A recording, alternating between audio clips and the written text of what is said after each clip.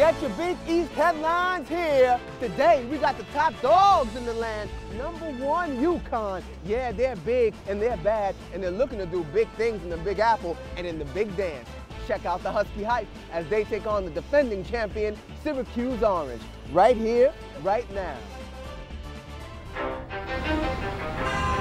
Like this crowded concrete island, the Big East is densely populated. And it only got better when it got bigger. They gather here to separate, to step up, to shine through, to stand out. The vote is unanimous for UConn, ranked number one and favored here. They must contend with the Orange and their miracle man. They want to write it on the wall, pound it out on their chest. In the bigger Big East, we're the best. This is 10% luck, 20% skill, 15% concentrated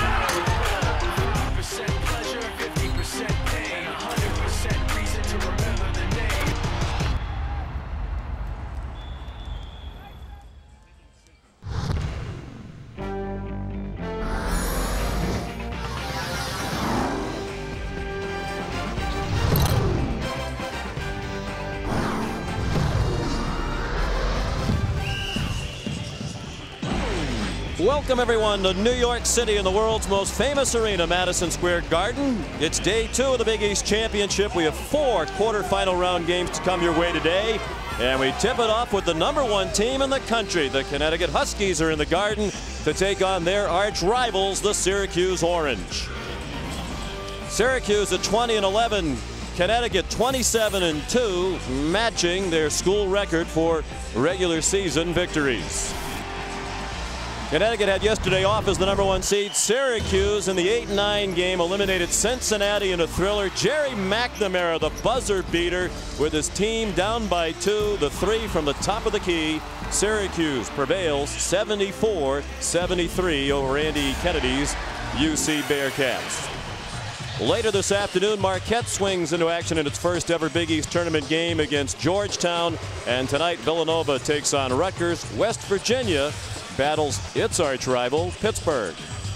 Good afternoon, everybody, and welcome back to the Big East Championship presented by Aeropostale. I'm Sean McDonough along with Jay Bilas and Bill Raftery. Delighted to have you with us. This is a marquee matchup. They've been two of the very best programs in the Big East in the nation throughout the years, recent years.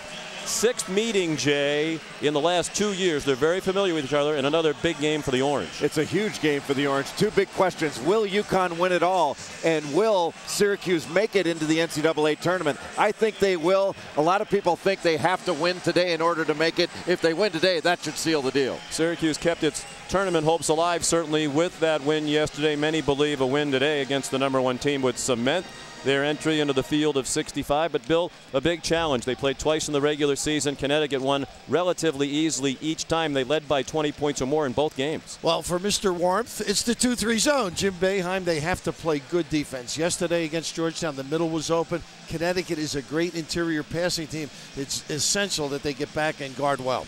And as we take a look at Star Watch this afternoon, we'll get a look at the best player for the Huskies, leading the number one team in the land, Rudy Gay. He does it all. Maybe the most talented and the most versatile player in America. He is really starting to play with the aggressiveness that makes a star. And for Syracuse, Gerry McNamara, who says he's underrated, had 17 points, nine assists, and three steals against Cincinnati, hitting the game winner. And Gerry's going to have a big game. Uh, they guard him extremely well. I think he's got to get 25 points and be terrific in the field goal percentage shooting area. Traditionally, he has not fared well against the UConn Huskies. Let's take a look at the rest of the starting lineups. For Syracuse, Gerry McNamara and the freshman Eric Devendorf in the backcourt with the front line of Terrence Roberts, Darryl Watkins, and Demetrius Nichols. They'll be challenged by that enormous front line of UConn, Rudy Gay, with Hilton Armstrong, the defensive player of the year in the Big East, and Josh Boone, who was last year's defensive player of the year. And in the backcourt, one of the best assist men in the country, Marcus Williams and Denham Brown, who had a very strong end to his senior regular season. Today's game is available in high definition on ESPN HD, presented by Dish Network. Syracuse in the orange. Connecticut in white. Jim Burr, Ed Corbett, Mike Stevens, the officials. They'll be challenged with these two coaches patrolling the sidelines this afternoon. And Rudy Gay controlled the tip for UConn. Sean and Jay. Unfortunately, 2-3 zoned by Syracuse with some man-to-man principle to go right inside quickly. And Hilton Armstrong lost control. Devendorf the run out. And Syracuse is first on the board. Boy, just the kind of start Syracuse needed. Not only getting a stop, but an easy score to give them a little bit of confidence. It's been hard for them to stick in it early with UConn. They're doing a nice job going baseline to the hide guy. Marcus Williams a miss. And Terrence Roberts the rebound. McNamara, the look away pass to Demetrius Nichols. He's fouled and a chance for a 5 0 lead for the Orange. How about drawing this start up, huh? All set up by good zone defense. A little more activity. We saw it yesterday. It's promising on the defensive end early for Syracuse. But Bill, don't you think you have to run with this team to try to go against a defense that isn't set more often? Absolutely, because of the interior aggressiveness and shot blocking ability shown as you take a look at Jim Boeheim, Hall of Famer. Win today would give him 21 wins for the 28th time in his 30 seasons at Syracuse, trying to get into the NCAA tournament for the 25th time in 30 years. And a couple times they didn't make it, they were right on the bubble. Rudy Gay for three. And the rebound controlled by Darryl Watkins. Nichols for three, long, and Gay tipped the rebound out to Brown. Williams lowered his shoulder and got called, or rather McNamara got called. Looked like Jim Burr was pointing offensive foul, but then changed. Jim Calhoun, like Jim Boeheim, in the Naismith Memorial Basketball Hall of Fame in Springfield, Massachusetts. They went in together last September. And Jim Calhoun made the point when we spoke with him this morning. Last year, Connecticut beat Syracuse twice in the regular season, but Syracuse won the game here in the Big East Championship in the semifinals, and the Orange went on to win the Big East tournament title. He doesn't like playing this A team this many times. And he made a good point earlier about this 8-9 winner having to play that team at noon on the second day. You're playing a team that's NCAA tournament good. That's no longer uh, an easy game, quote unquote. He made the point they used to schedule this one versus eight or nine game thinking it would be a rout, and earlier in the league history it typically was, but not anymore with the strength of these teams that are going to be finishing in the eight and nine spots, not only this year, but in all likelihood for years to come. And Syracuse competing on the glass, solid fashion, and also they got back to negate a fast break. That's very important. They balanced the floor. McNamara, the dump off to Nichols. It's 7 0 Syracuse, nearly two minutes in. How about McNamara working as the two guard with Devendorf handling it out front? They're going to have to put a lot of pressure on Devendorf, make it difficult for him if he's going to try to run the team. There's McNamara, the hero yesterday, with the buzzer beater to give them the win. Josh Boone misses, and Nichols the rebound. And of course, McNamara, the subject of Jim Boeheim's memorable post-game comments, responding to articles in the Syracuse Post-Standard and the Syracuse campus paper, the Daily Orange, quoting anonymous assistant coaches in the Big East saying that Gerry McNamara was overrated. Boeheim vehemently disagreed. He said all year long he's carried us, he's double teamed all the time, he has to bring the ball up the court. Without Gerry McNamara, this team wouldn't have won 10 games to clean up and paraphrase what Coach Boeheim said. I'm glad you did clean it up. People have to understand it's all about the travel. Four years, what he's meant to this program, and uh, he's endearing to coaches and fans alike up in that area. But it's easy to take shots at a guy. He's had to do everything.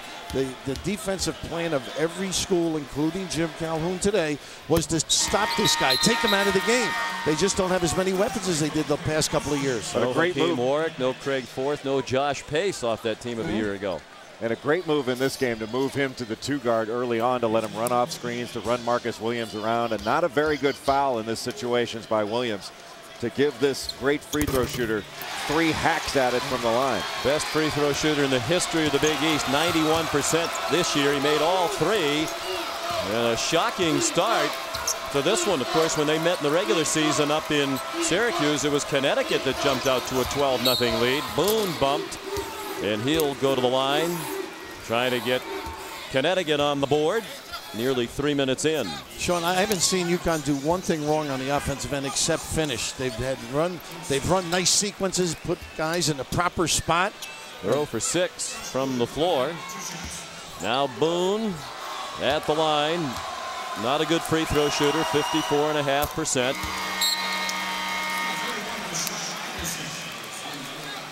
Averaging 10 points and 7 rebounds per game.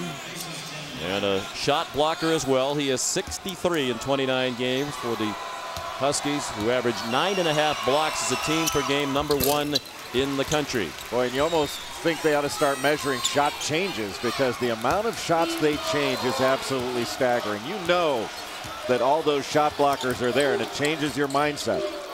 Connecticut going to the bench early. Craig Austrie, Jeff Adrien in the ball game, along with Rashad Anderson, who's usually instant offense off the bench. Here's Austrie, a starter for most of the year, a freshman. Now Gay, tough fadeaway, rebounded by Watkins. And you notice they got back against Syracuse. Terrific. The details, so important you balance right. And they had Anderson wide open for a spot up three and missed him in favor of Rudy Gay's challenge jump shot.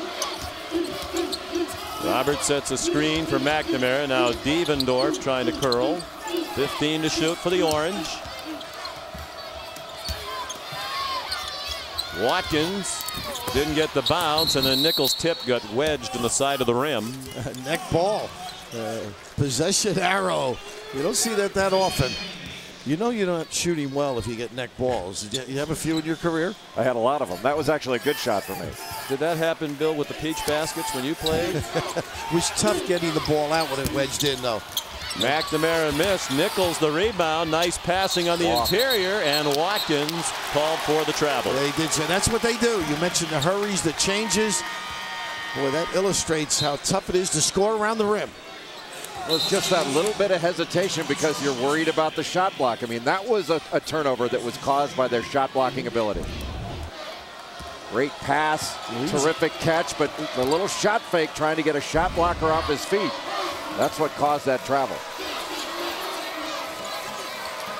Connecticut has not made a shot from the field. They've turned it over once.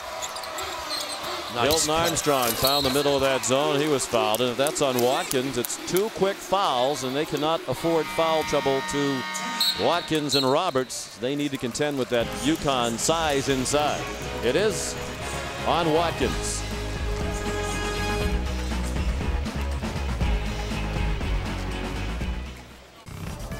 ESPN's exclusive presentation of Championship Week is presented by 7-Up. If you want 100% natural lemon and lime flavors, the only way to go is up. And in part by OnStar by GM. To learn more, visit OnStar.com. Lunchtime in New York City. And a delicious treat to get this day of basketball started. Syracuse and Connecticut. The Orange by eight off the heels of their dramatic win over Cincinnati yesterday. It was a big win, but after the game, most of the talk around the building was about Jim Boeheim addressing the reports from some assistant coaches that Gerry McNamara is overrated. Without Gerry McNamara, we wouldn't have won 10 games this year. Okay? Not 10. These other guys just aren't ready. They needed him. Without him there, not 10. We wouldn't be here to even have a chance to play this game. And everybody's talking to me and writing about Gerry McNamara being overrated. Well, Jim Boeheim, very passionate in his comments, and understandably so. This young man's had a tremendous career for Coach Boeheim, and as we addressed earlier, he is the focus of every defense they faced this season. It's a, a situation, and Jay, you can relate to this with your relationship with Mike Krzyzewski.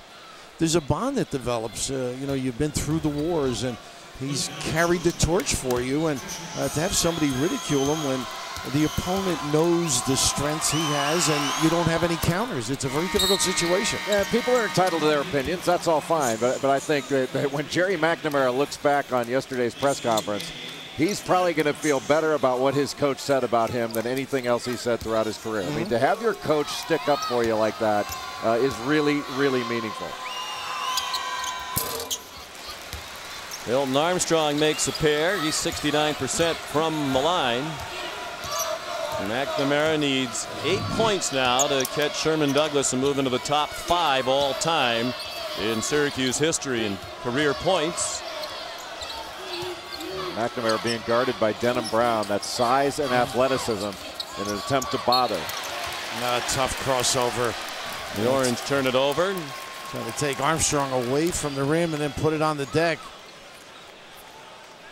But Jim Boeheim made the point it was anonymous assistant coaches who were quoted in those Syracuse papers, but the head coaches named Gerry McNamara co-Big East Player of the Year with Rudy Gay in the preseason, mm-hmm. and also named him on the first team All-Conference team at the end of this just concluded regular season. So they think he's They pretty know. good. They know. Rashad Anderson missed the elbow jumper. Roberts tipped it out. Watkins, a foul call. They might score that a goaltend. Ed Corbett says no. I think they're wrong. I do too. That Mike Stevens called the foul underneath. Ed Corbett was the side official, and he immediately gestured to Jim Calhoun that this was still on the way up. No way. Wow. How about the elevation? Forget the call. Well, we should point out one other thing, too. The foul just before the last break was on Terrence Roberts, so both he and Watkins have one foul each. And that was the second on Roberts just now. Now, Jay mentioned the size, and that's been a problem for Gerry McNamara. The bigger guy can space and get the hand up and challenge the shot. And a lot of times late in the shot clock, he gets stuck with the ball trying to do some things for this team. Therefore, his field goal percentage occasionally may be down. And they're willing to take the risk that McNamara may be able to beat Brown off the dribble because if he does, he's got to go in there and finish over great size. And right there, that, that prevented him from going all the way. Matt Gorman into the game for Syracuse, number 24. Watkins to the right hand over Boone. Way too strong. Denham Brown the rebound. Boone off the pass from Denham Brown. Oh, my goodness. Out of bounds. Last touch by Syracuse. Can he run the floor? How That was that? incredible. Shot out of there like a bullet and the pass ahead. Boy, that puts a ton of pressure on your transition defense. that ball might have gone out of bounds off of Josh Boone. That was incredible. Connecticut 0 for 8 from the floor, but they scored six unanswered points, all from the line. They get back within four after falling behind 10 0. Anderson's three blocked by Demetrius Nichols. Those post dives are hard to guard. Watkins couldn't handle the pass from McNamara. The third Syracuse turnover. Later today, here in the Big East Championship presented by Aeropostale, Georgetown, a winner yesterday over Notre Dame, takes on Marquette.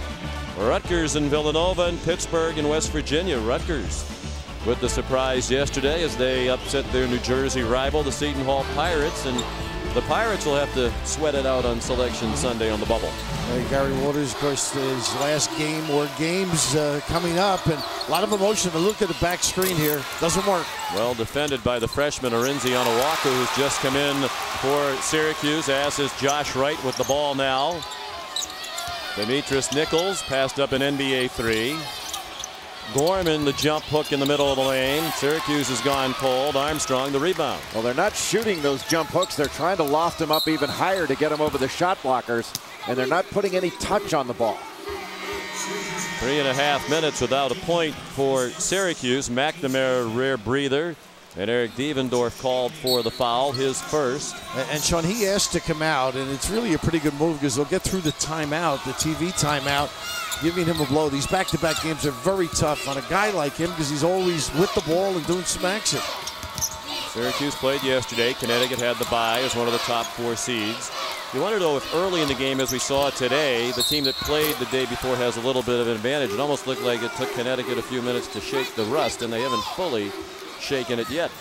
Oh, well, they're, they're indecisive here on this call. Excuse me, Sean. A block, okay. All three refs are waiting for somebody to make a call. I believe they gave it to Matt Gorman. Now Mike Stevens going back over to the table again. I think he held up four fingers. They don't have a number four on the floor. They Maybe have had a the- 34 and a 24. I thought maybe the two came earlier. It certainly wasn't Gorman. No, was it? I believe they might go to the monitor now to try to determine just who committed the foul. Bob Donato, the standby official there. Donato Walker. Yeah. Arinze. You know, just that little move cost them. That, that's some weapon to have. A guy like Williams to beat the zone with the dribble. And they've been cutting well. He throws that little dribble move. Makes it very tough on the defense. Marcus Williams made the first. The foul on Onuaku. His first. And that's the first miss by UConn from the line. Now seven out of eight as a team. All seven points from the free throw line for Jim Calhoun's Huskies. Little flex screen and pop. Now Gorman can give him some offense, particularly facing the basket, Jay. Right, a turnover. Wasn't on the same page with Nichols. Oh, oh. Williams. Acrobatic lay-in, nine straight points for Connecticut. And a timeout called by Syracuse. They've gone more than four minutes without scoring a point.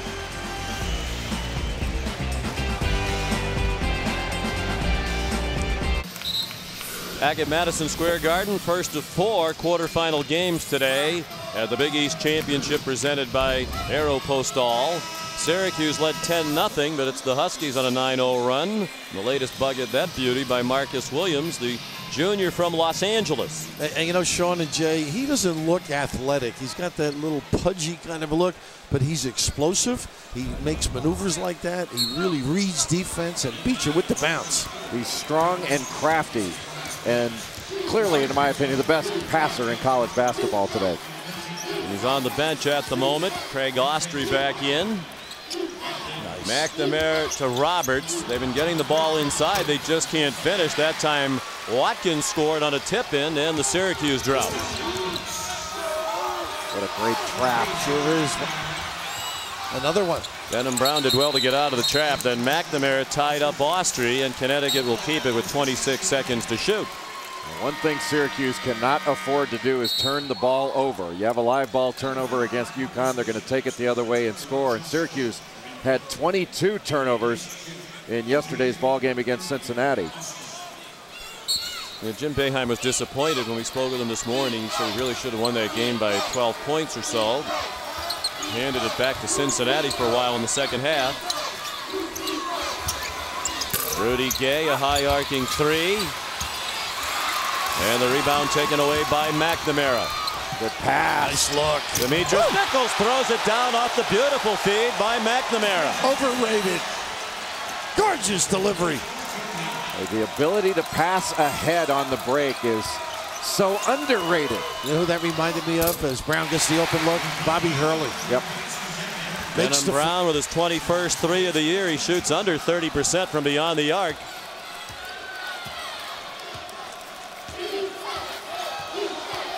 The key to sticking with UConn, you've got to get baskets in transition. You cannot be afraid to run when you've got the opportunity. Beat that defense down the floor. McNamara, an NBA three, a little short. Rebounded by Hilton Armstrong from just up the road in Peekskill, New York. Williams out of bounds. Last touch by Darryl Watkins. It will be Connecticut's ball with 27 to shoot when we come back. Offense hard to come by lately for the Orange, but that was a highlight. Syracuse leads by two.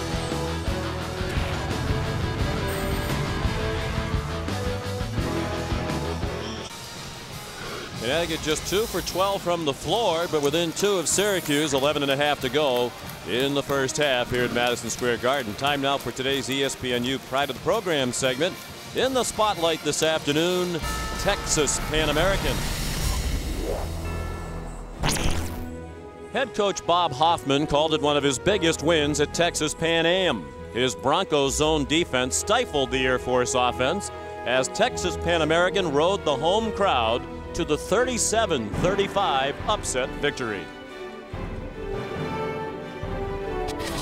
More Pride of the programs are available on mobile ESPN. Syracuse by two. Demetrius Nichols has eight points. to lead the Orange. Right inside. Josh Boone couldn't finish. Denham Brown had it stripped by Devendorf and went right to Rashad Anderson. Well, that was way too easy. That duck in By Boone, into the middle off the out of bounds. Yeah, So they play very flat in the back of the zone, and that's been open. Off the leg of Onuaku. Or check that off the leg of Watkins. Watkins, Roberts, Nichols, Devendorf, and McNamara, the starting five back in intact. Rashad Anderson missed a three. He's their second leading scorer, 13.3 per game, and he hasn't started a game all year. Leading scorer in the country among those who have not started a game. The Huskies have five players who average in double figures. Robert scores over the towering Boone. That's when you run the floor, you can get that great position and another terrific pass. Great anticipation, Sean. Roberts gave it up nicely to McNamara and back to Roberts for the dunk. Boy, do they look sharp. Activity leads to achievement. And this is an active Syracuse team today. Different outlook. Six assists already for McNamara. You might say he's an underrated passer. Syracuse came into the Garden yesterday, losers of three straight. They looked like a listless team warming up. You observed that, Jay. But sometimes a win, like they had yesterday in dramatic fashion, can ignite a team, turn their fortunes around. Just a lazy pass by Marcus Williams and an aggressive running of the court. And how about that pass by Gerry McNamara right on the money? Louie McCroskey into the game with the ball now for Syracuse. He gave it back to McNamara, and now Nichols with Watkins and Roberts. Midway through the first half, the Orange with a six-point lead. Nice slip. Watkins again in position to score and just cannot finish, struggling with that big front line. That time was Josh Boone who blocked a shot. He just needs to take it right into the chest of these shot blockers. If you try to avoid a block shot, they're going to block it. But they space so well, though. They give you that cushion, Jay. It's tough. Watkins tried to tip in the McNamara floater that was a little bit short and could not. Adrien a good catch, tried to bank it off Watkins. It went through his legs to Gay, who traveled. Okay, that's just terrific. McNamara stuck his hand in, started the problem, and then pretty good reaction underneath. McNamara goes out again. He has six assists and no turnovers. And three points. When McCroskey catches the ball against Anderson, he needs to drive it. Nichols with Gay defending. He gets the roll. A little hang time in the air from Demetrius Nichols, the junior from Boston out of St. Andrews in Rhode Island. Well, you need a middle game against Connecticut. Those pull-ups are there. You get too deep, you're really in danger. How about the length and extension of Demetrius Nichols when he pulls up? So high up in the air, you can't block it. In a game of runs, Syracuse led 10 0. UConn responded with nine unanswered. And now the Syracuse run again. Austrie got the timeout. Wow. Great hustle to run it down and the presence of mind to call the timeout. With 8.56 to go, it'll be a 30 second timeout. So after Jim Boeheim's words of support for Gerry McNamara, McNamara backing up the coach's words with an excellent performance so far today. Hey, Jay, it's like the old timer. He's a guard. Now, you were mentioning he's playing off the ball, but he makes some terrific reads and soft catchable passes. Just a gamer. I mean, a player that makes plays out on the floor. He can shoot it, he can handle it, he can pass it. The only thing that he doesn't do to the highest level is defend. But you can tell against UConn, Gerry McNamara has some problems against them because of one, the weight and responsibility on his shoulders as carrying so much of the offense. But the, the, flip, the other side of that is the athleticism and size that you can put on him. You know, he's letting the game come to him, too. and Feeling it out, not rushing things. And I like the way they're spacing this rest, Sean, too. He's already had a few stints on the bench, taking a breather. Marcus Williams with Rudy Gay, Denham Brown, Josh Boone, and Jeff Adrien now for Jim Calhoun.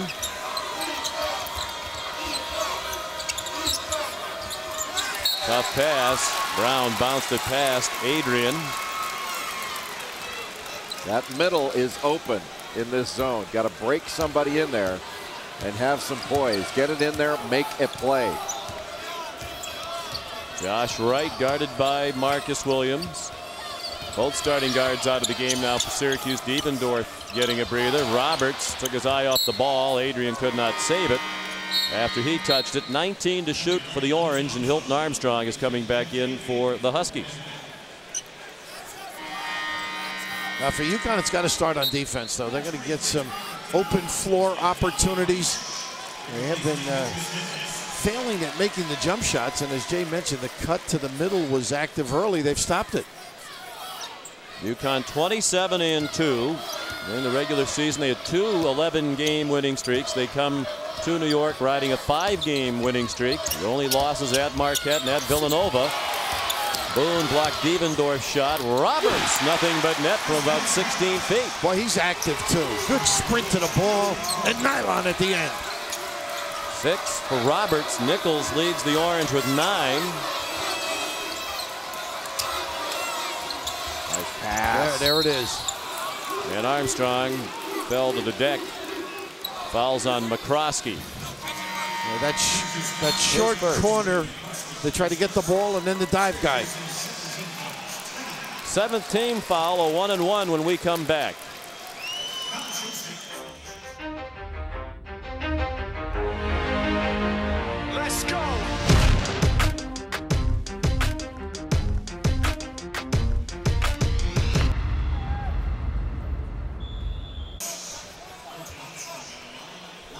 All right, Karl, thank you. Hilton Armstrong at the line for Connecticut down by 10. Rudy Gay and Rashad Anderson have not scored. They're combined 0 for 7. Josh Boone's 0 for 4. He has two points from the line. Connecticut 2 for 17. They've done almost all their damage from the free throw line. And Armstrong has made a pair. More rest time for McNamara alongside assistant coach Mike Hopkins.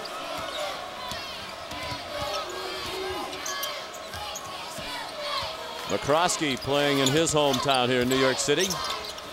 Devendorf took the handoff from Josh Wright and missed the three.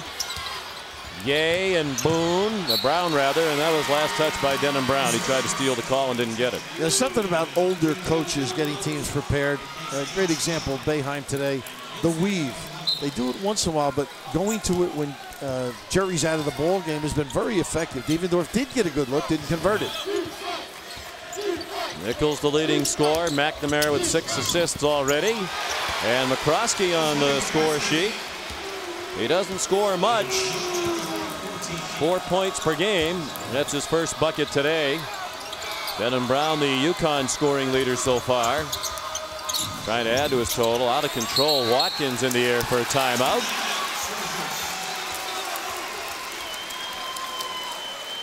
Syracuse ball out of the timeout with a 10 point lead. Let's go inside the play. Well, we had mentioned, Jay, the weave earlier. Now they've got McNamara back on the floor, and they've been able to do a little bit of a, a curl, and just how they stay with this is terrific.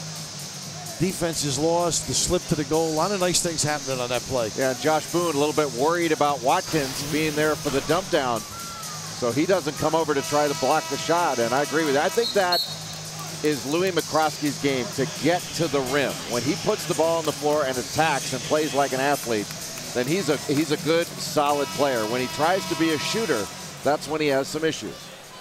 Because he's not a good shooter. Well, he's not he's not a great shooter. But, but guys get all caught up in their shot. And hey, Louie McCroskey's not alone. They value their game by whether their shot is falling.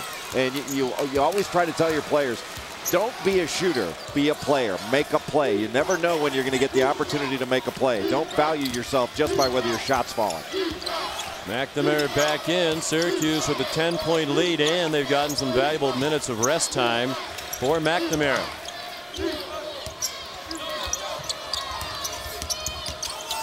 Roberts bumped on the drive. I think it may have been Brown, but the nice kickback. McNamara had Armstrong on the wing. But why reach? Yeah, oh, Why- defensively, Yeah, you've got a guy that, that doesn't handle it particularly well, a little bit out of control, Mm-hmm. not going toward the goal, and you reach and bail him out. Two Syracuse runs with a 9-0 Connecticut run in between. Foul on Brown, his first, the third team foul against UConn. I, I love this here. They do the. They were going to use the pick and roll. They run the stagger on the baseline. Krosky lost it. Brown and Anderson combined to force that turnover. And a three out of the corner. Denham Brown, the three ball, the senior from Toronto. Well, on the wings, they've got two great shooters in Anderson and Brown. This is the play I like, Jay. If they use the screen, they get the mismatch.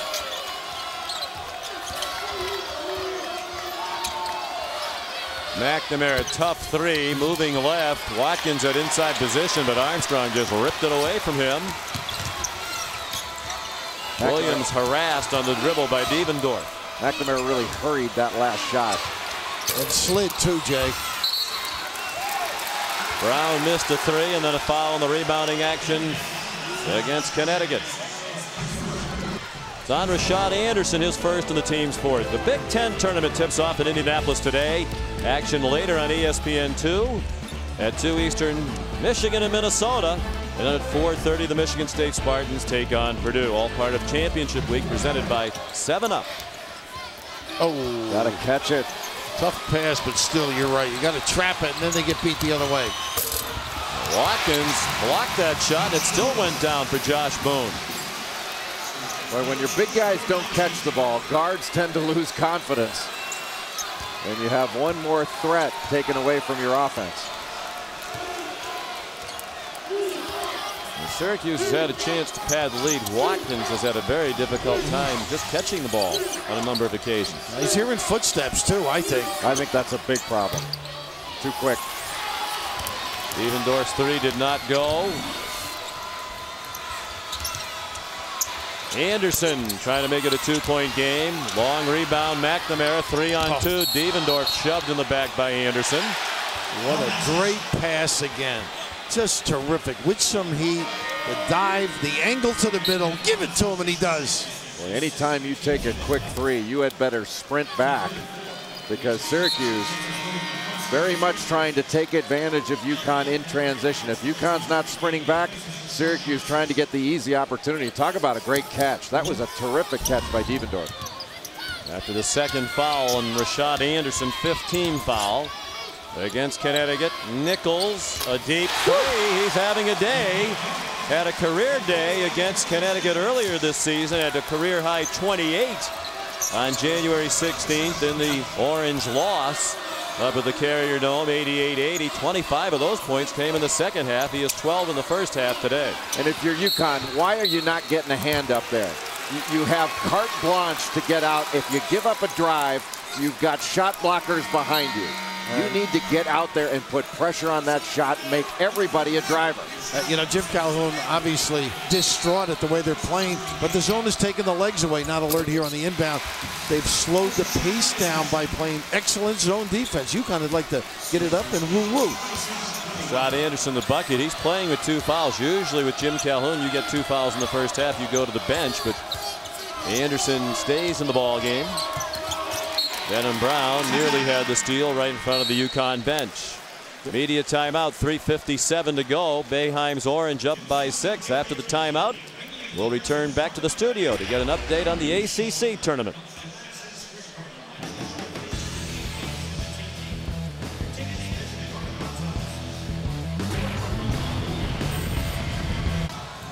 All right, Karl, thank you. Former UConn assistant coach Karl Hobbs leading his George Washington team today. Connecticut, the number one seed in this conference. Big East regular season coach champs with Villanova. They won the tiebreaker.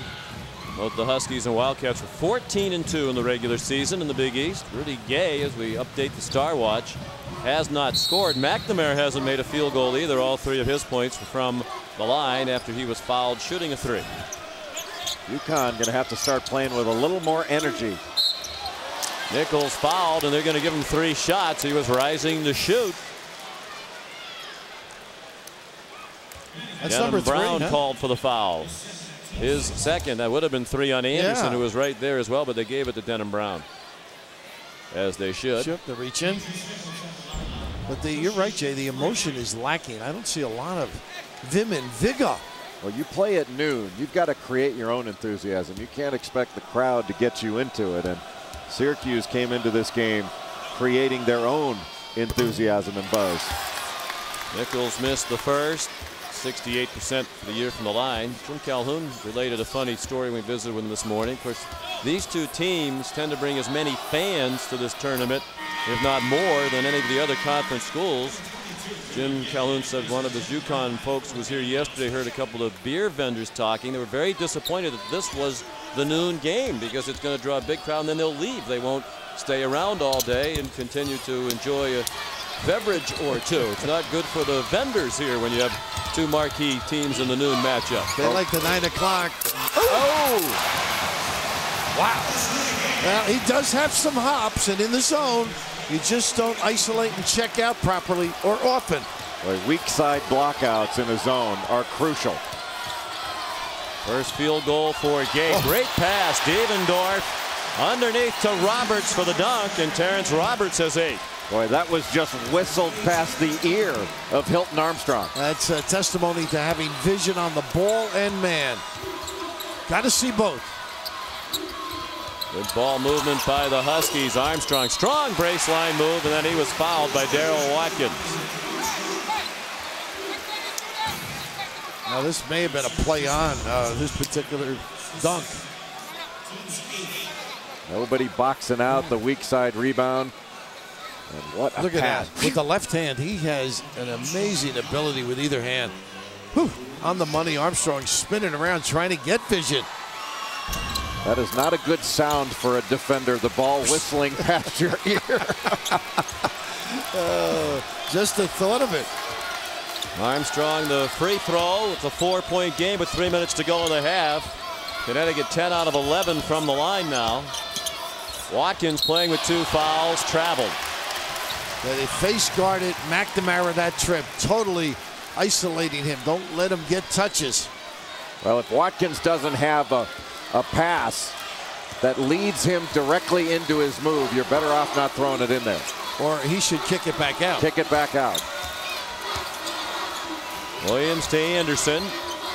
Connecticut playing from behind the entire half. Devendorf just ripped it away from Armstrong. Four on two break. Devendorf. Roberts up a little bit too early. That bounced twice on the rim. He was waiting for it to come off after the first bounce.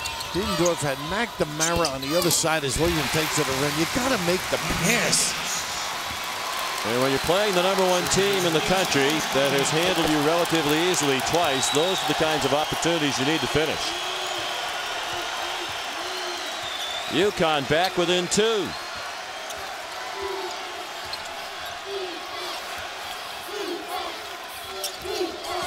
Largest lead for Syracuse was 10.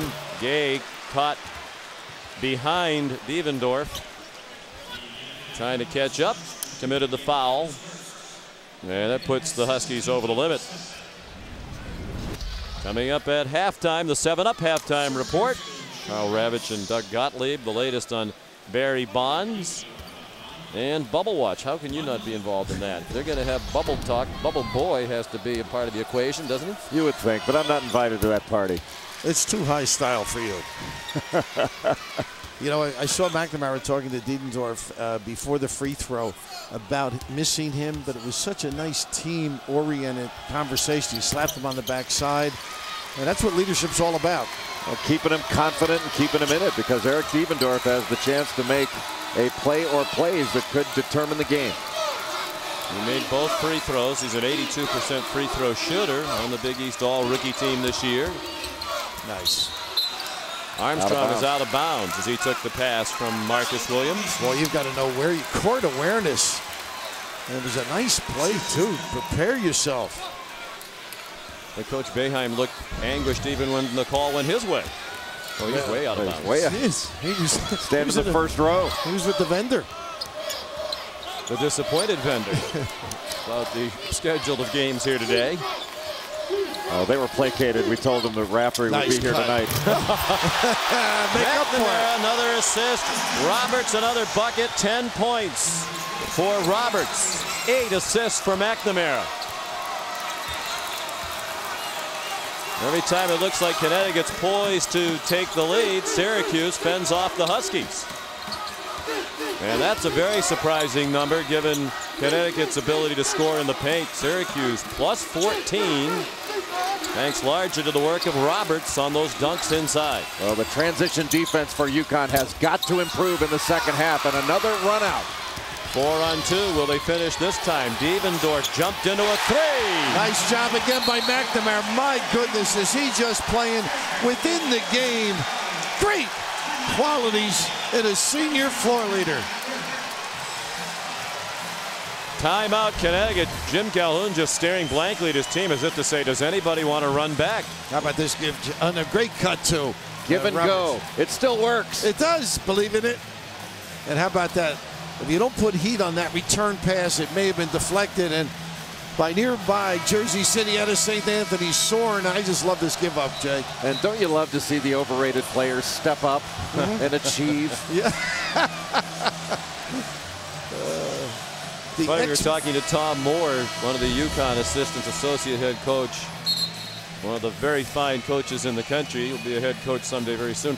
So all the assistants after Boeheim's tirade just have been walking around as if to say, wasn't me. I'm not the one who said he was overrated. well, Or you think there'll be a Freedom of Information Act request to find cell phones to see who was calling the Post-Standard? Well, I said to the coaches in the Connecticut locker room, what's the difference? Boeheim never talks to the assistant coaches anyhow. And Boeheim's team looking very much NCAA tournament worthy here this afternoon. One historical footnote in the history of the Big East, 27 years, only two teams that had 20 wins did not earn a bid to the NCAA tournament. Connecticut in 1980, Syracuse in 02. 100 of 102 teams that had 20 wins have been selected, and you could make the argument this league is better than it's ever been. So you would think if that's the standard, it would be even more pertinent today. There's no argument. It is better. It's really two leagues now. Gay all over Devendorf, who managed to get it to McNamara. Roberts another dunk. Woo, a day sharp. Even a mishap turns attractive. 10 assists in the half for McNamara. The heave won't go for Williams. And Jim Boeheim fired up, pumping his fist at his players as they came off. A very impressive half for Syracuse, which ends on a 9-0 run. At the break, the Orange 39, the Huskies 28. Here's the 7-Up halftime report. Karl and Doug.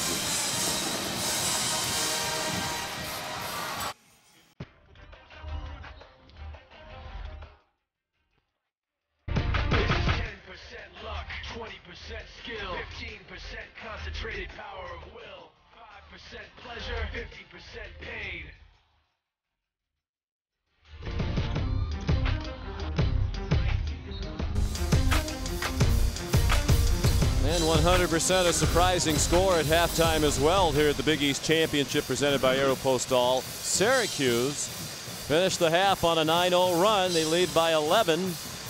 Gerry McNamara, the hero yesterday, his three-pointer at the buzzer gave Syracuse a one-point win over Cincinnati to give them this chance to compete with the number one team in the country. And in the first half, after all of his heroics and the comments about him yesterday, doing it with the passing today. Just unbelievable. 10 assists by Gerry McNamara in the first half alone. In his last 60 minutes of basketball here in the Garden, 19 assists. Amazing. 10 assists. His career high is 12. He's done that four times, three this year. The Big East tournament record for assists in a single game is 14. Done three times by three of the great assist men in the history of the conference. Brandin Knight for Pitt in 2002, Pearl Washington of Syracuse, and Mark Jackson of St. John's in the same year, 1986. And so that's 11 assists. One of you two said he needed 25 points for them to win. He's had a hand. That was me, by the way. It was you. Yes. But I believe his assists make up certainly for the points. He's really had great leadership qualities. And we're going to know in the first four minutes of this second half whether UConn's going to have the chops to come back and win this game.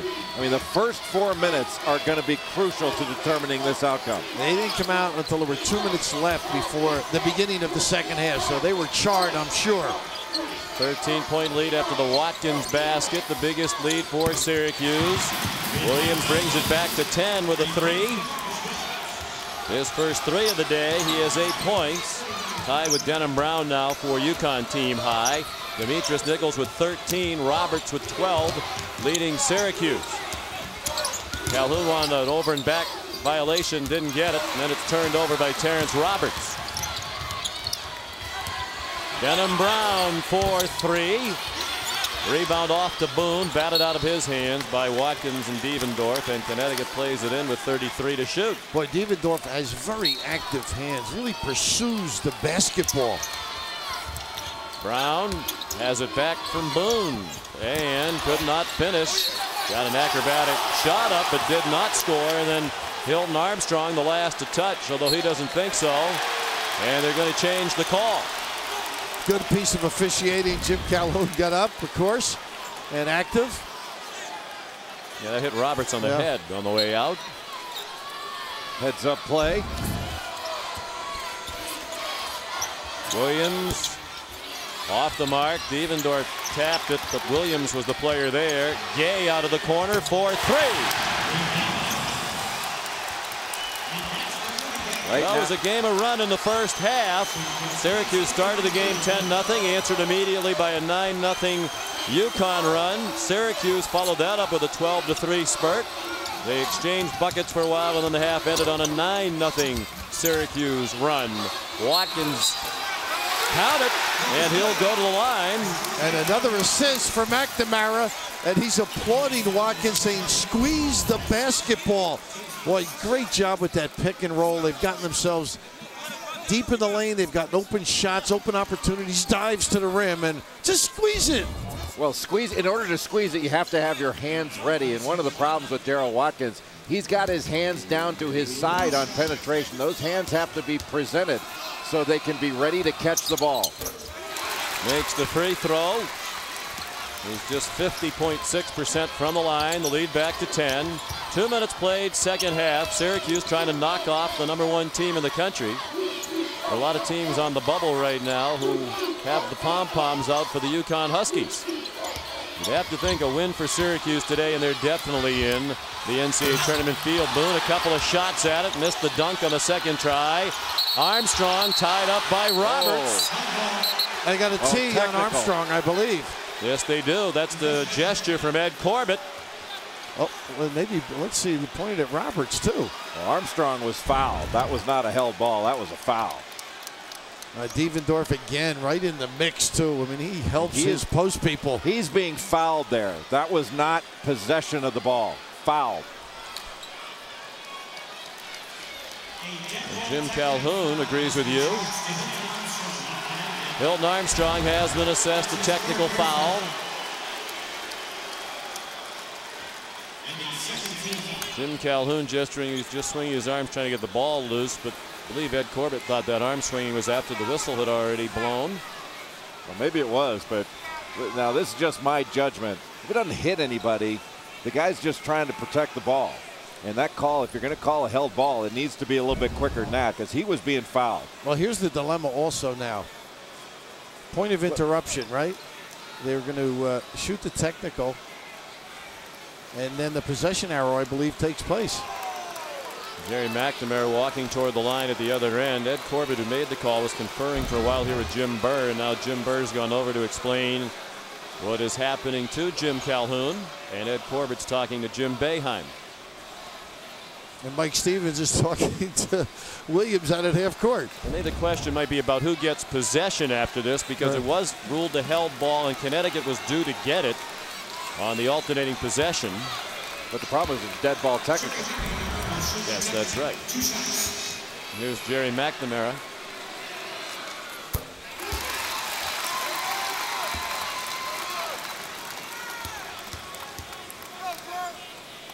Now four for four from the line, five for five. I tell you, that almost seems extremely unfair. You know, first of all, as noted, the foul, the activity, and you're going to wrestle away. I didn't think it was vicious when he hit Devendorf No, either. it's just a judgment call. Yeah. Those things happen quickly, and the referees were right on top of it to try to stop it. Now, clearly I thought it was a foul. I, I think in order to gain, uh, when a guy's got possession of a rebound and you're reaching in there, you've got to have possession of the ball for them to call uh, a jump ball. You know, I thought that was a foul. Even though the arrow pointed for Connecticut because of the technical possession went to Syracuse, now with a 12-point lead. That was a big sequence. McNamara's pass too hot to handle. Here's Williams off to Boone. And a blocking foul called underneath. Oh, boy, great play at the other end by Brown to dive down and get a hand on that pass. And once again, the challenge at the rim. Watkins gets nailed with it.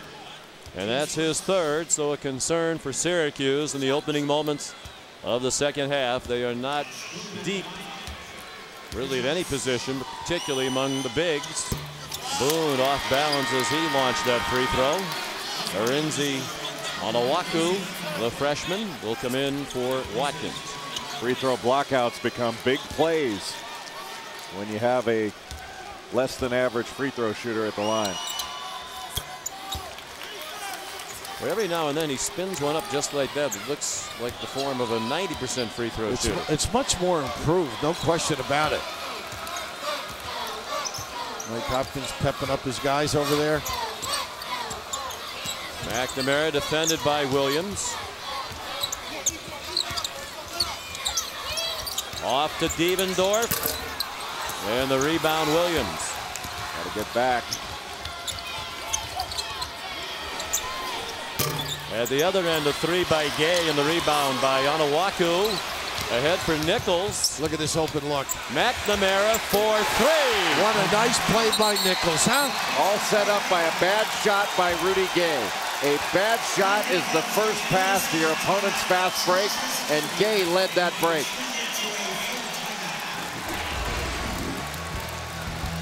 Syracuse very sharp. They limped into this tournament having lost three in a row, including a 39-point defeat at the DePaul. How about this score today?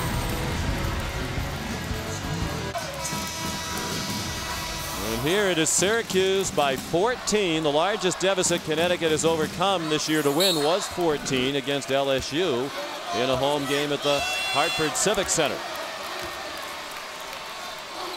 Denham Brown with the ball with Marcus Williams, Rashad Anderson, Jeff Adrien, and Josh Boone for Jim Calhoun.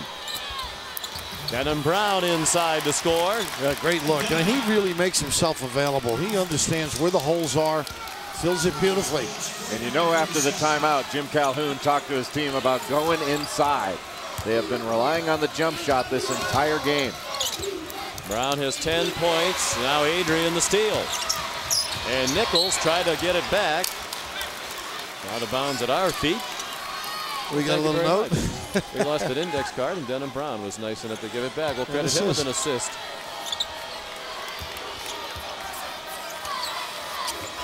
It says 0 for 7 on the index card. That must be Bill picking up the tab since we've been in New York City. It's my favorite town. Timeout, 12-point game. An emotional head-to-head matchup between these two Hall of Fame coaches. One of the all-time Syracuse greats trying to make sure he plays in one more NCAA tournament. And welcome back to the Big East Championship at Madison Square Garden, part of Championship Week. Syracuse by 12 here early in the second half. Sean McDonough, Jay Bilas, and Bill Raftery. Jim Calhoun is, we said earlier, worried about this game, even though his team handled Syracuse with ease twice during the regular season. What's been different today for Syracuse to turn this around? I think the activity and enthusiasm they've been playing with defensively, it's led to some runouts for them and some transition, and transition really important against UConn. Put emotion together with McNamara having a flawless game. I believe he has two turnovers, the last one most recently, but he has just given the ball up properly, played totally within himself.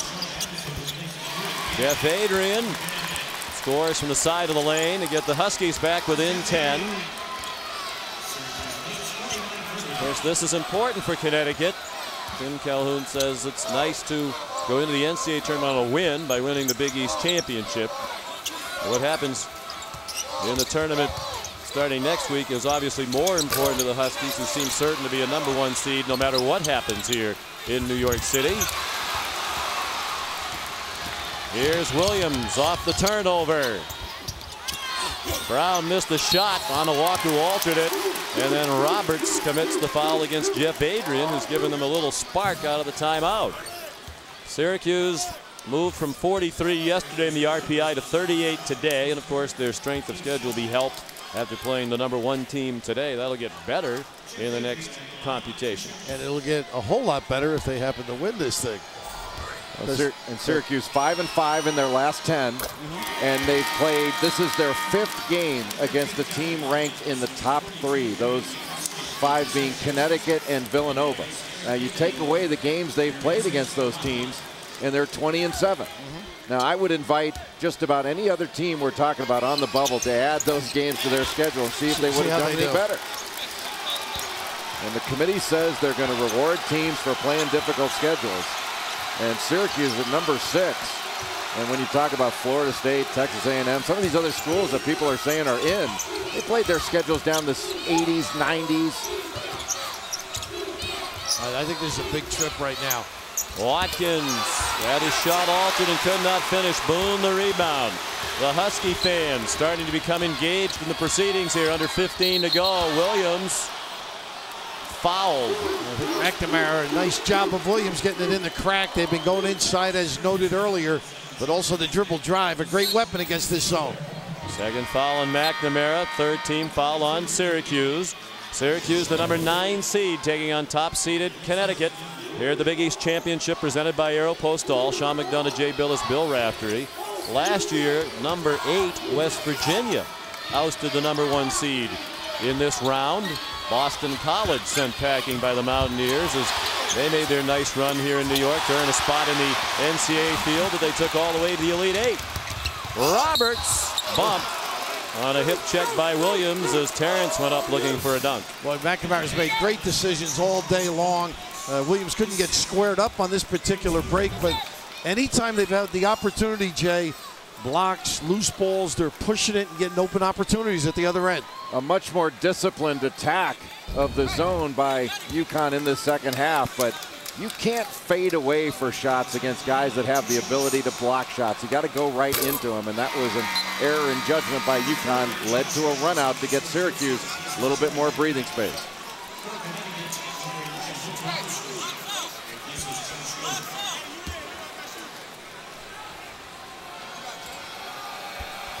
Roberts did not get the bounce.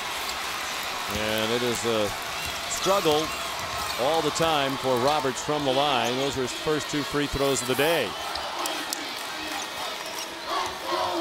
They could attack on this side on the short corner because Roberts comes all the way out on the wing here.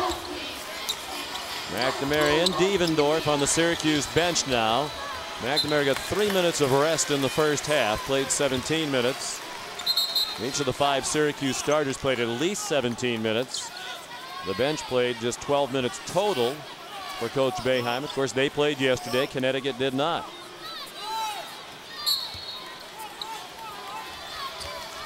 Fourteen minutes to go. Syracuse by eight.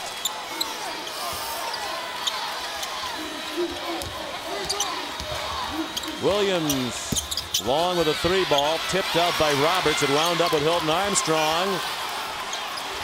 LaShawn Anderson missed a three. Adrien and Nichols jousting for the rebound.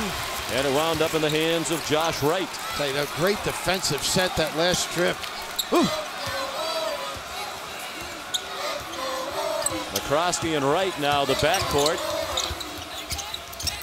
Roberts did not get the bounce. And the rebound to Armstrong. Once again, great balance. The shot Anderson again, this time buries the three. Why leave your feet? Got everybody back, identified. One for eight from three-point range for Anderson, ordinarily one of the best sharpshooters in the country. Syracuse, another prolonged field goal drought. Watkins answers off the setup from Josh Wright. Somebody's got to pick up the ball earlier for Syracuse. Too easy to get it up the floor. Williams a lean in that didn't go. Anderson picked it up in the corner and drove to score. Connecticut back within five. And right now you can see they're not getting the loose balls, the rebounds, everything that went in the first half, they're not taking advantage of. Connecticut from 14 down, back within five now. Timeout Syracuse. The mini timeout with 12:39 remaining. This is the Rashad Anderson that was so dominant in 2004, the year that UConn won the national championship. And on the other end, the miss, the long rebound, and when it's long or loose, Syracuse has to have it, or they're going to see more of the same from UConn.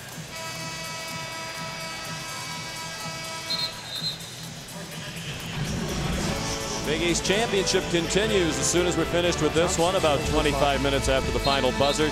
Georgetown and Marquette. They played once in the regular season in Milwaukee three weeks ago. Marquette won the ball game.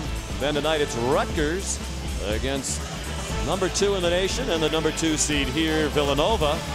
And then at 9:30 the nightcap, Pittsburgh and West Virginia, both teams in the top 21 in the country.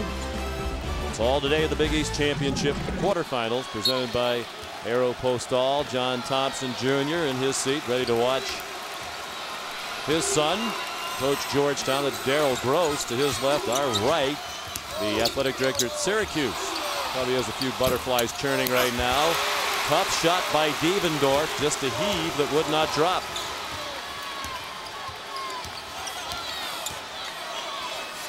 Devendorf and McNamara back on the court with McCroskey, so a smaller lineup for Syracuse, Robertson, Watkins. Armstrong went to the right hand. The scoop didn't go. Devendorf a push. Uh, now, Devendorf on the floor, that zone's much better. Those long rebounds, and very competitive after anything loose. But one of the few weak moves you'll see made by Hilton Armstrong. McNamara, the dunk by Roberts off the McNamara miss. 14 points to lead Syracuse for Terrence Roberts. Sean, he took the big guys with his dribble, and that opens up the rim. Well, too many shot blockers. That, that's where a strength became a weakness. Everybody went to block the shot, opened up the offensive glass. Great pass. Marcus Williams underneath, and Hilton Armstrong will go to the line after a timeout. And on the other side of the commercial break, we'll check back in in the studio, find out if George Washington is still in trouble in the A10 tournament.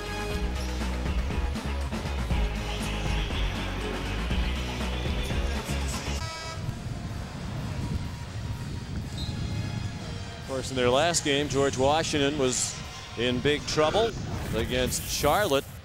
Uh, took a dumb play by Charlotte there, getting a technical in the final seconds to give GW a chance to pull that one out. You know, Sean, uh, cabs, you you take money out and pay the man after you. I know all week you have not. Jay and I picked up every cab. Yes, you have. That's nice of you. A trend I hope will continue well into next season. Uh, you're right, though, about GW. St. Joe's almost stole one.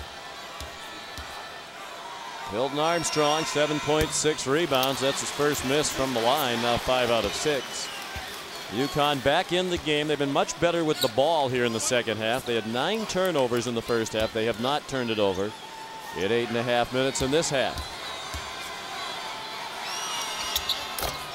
One out of two for Armstrong. A six point lead for Syracuse. Pressure in the backcourt. McCroskey looking for help. Got it from Watkins, who handed it off to Josh Wright. Three guards in the game, but Devendorf on the bench for Syracuse. Wright went by Marcus Williams and a nice floater reminiscent of Sherman Douglas. I'll tell you, Sean, he beat the guy in the lane earlier. He's playing with some confidence. An explosive step. That's the corner there. Now they, they exchange. They don't do a good job on offense. Good step in by Watkins defending. McNamara Oh. dumped it off. Roberts another dunk. 12 assists for McNamara. Matching his career high, fifth time he's done it. He's two away now from the single game Big East tournament record. Well, he stopped on a dime. Everybody kept moving in that direction. Unbelievable. He keeps letting this team down. Unbelievable maneuver. Armstrong, baseline jumper.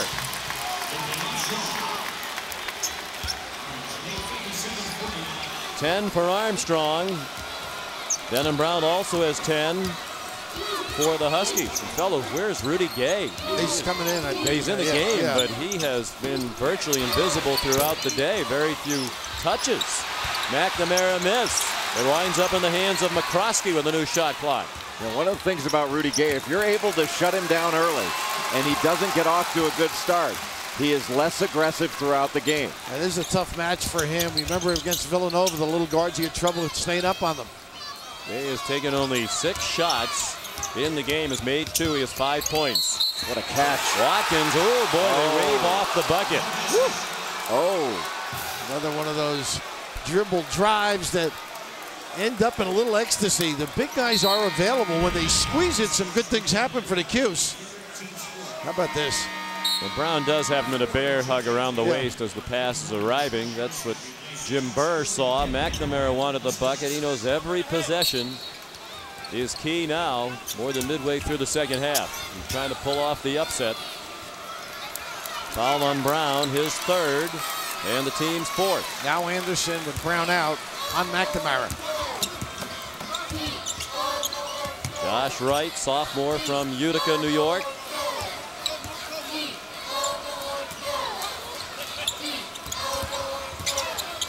McCroskey defended by Gay.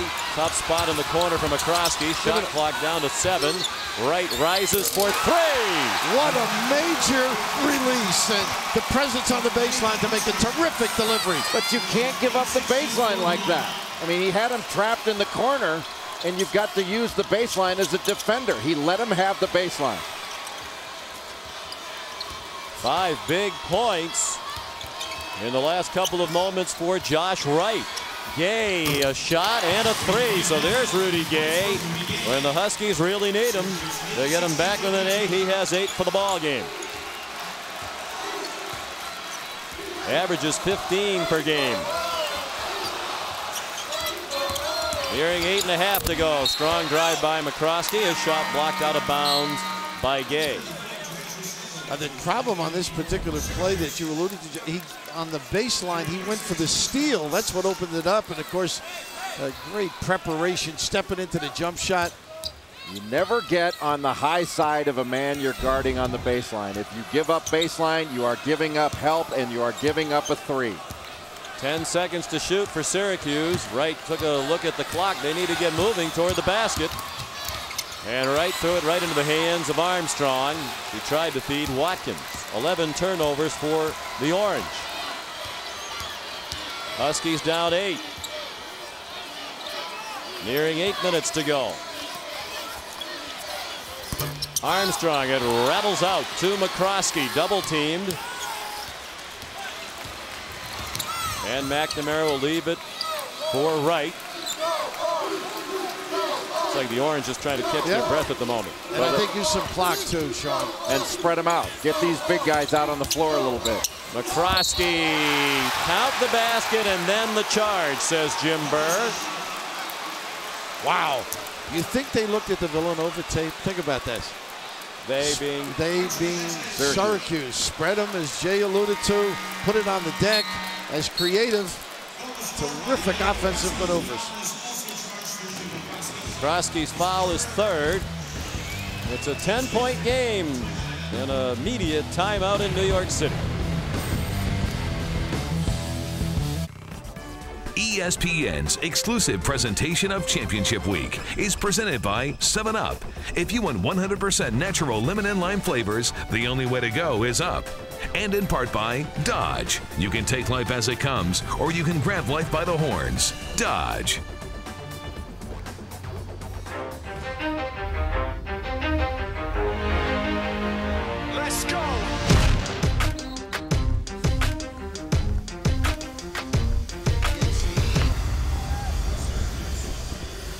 Championship week presented by 7-Up continues from the world's most famous arena, Madison Square Garden. It's the Big East Championship presented by Aeropostale, the number one team in the country. And the number one seed in this tournament in trouble, down by 10. They've trailed throughout. 7.42 to go. The largest lead for Syracuse was 14 here in the second half. But, gentlemen, one thing Syracuse has done very well today. Every time Connecticut makes a little spurt, looks like they might take the lead or get even. Syracuse widens the margin back out. There's Gay to make it an eight-point game. And that's that open middle area. Yeah, they've responded beautifully. Here's a turnover in the back court. Look at this. That's good pressure And then Williams fouled after the great effort by Rashad Anderson to win the ball back for the Huskies. Just a little bit of mental laziness on the part of Syracuse on the inbounds. A nice response by Anderson, too. Very active. You think you're all alone. Those one-handed passes, though, you can't bring them back once you let it go.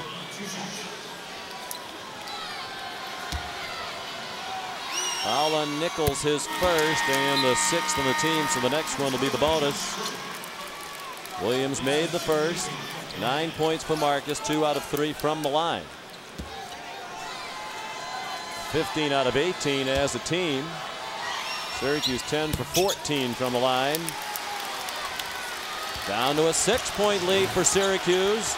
Terrence Roberts leading the way, and a lot of those 16 points on beautiful setups by Gerry McNamara, who's had a career assist day. Same philosophy here. Back to the weave again, up high. Down to seven minutes remaining. Eight to shoot. Josh Wright. Rebound to Roberts. New shot clock. Boeheim says bring it out. And his charges listen to the words of wisdom. Now, when the bigs contribute, particularly Roberts, this is a different Syracuse team. The second opportunity gives them a chance to shorten the game a bit. McNamara for three. Wow, can he bite you? Well, we always talk about Anderson with daggers. Uh, this kid's providing a few for the Cuse. Lesson for all coaches out there continue to recruit the overrated. Gay with 10. He's tied for the team lead in points with Armstrong and Brown. Williams for three. Tough. These two are going to decide, I think. Williams on one end, McNamara on the other, which the outcome will be. Down to six minutes to go. The Syracuse have enough in the tank to finish off the upset? Nichols lost the handle. Gay ahead for Anderson. Beautifully off to Gay for the dunk.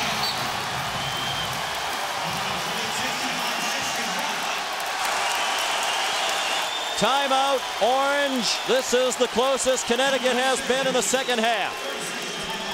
Mishandling in the open floor, no defensive balance. And Jimmy now a little bit irate, but this is what happens. Very clever dish off here at the end. Yeah, beautiful pass. And you know what, Bill? I don't think Jim Boeheim's irate right now. I think what Jim Boeheim is doing is telling a guy like Demetrius Nichols, you're good enough to do this. You're good enough to get this done. Just think about the play in front of you because all he needed to do was make the catch, corral the ball, and then make his move. That was a very sloppy turnover that led to the Connecticut bucket. We mentioned it earlier. They have come from 14 down to win this year. Did that in Hartford on January 7th against a good LSU team. And Sean, now the rotation begins again. Brown in to play McNamara. Anderson gets a blow. Fresh bodies. Jim Boeheim has said, one of the reasons McNamara has struggled over the years against Connecticut, you know, they can just keep running different fresh defenders at him to guard him. McNamara following the rebounding action against Syracuse.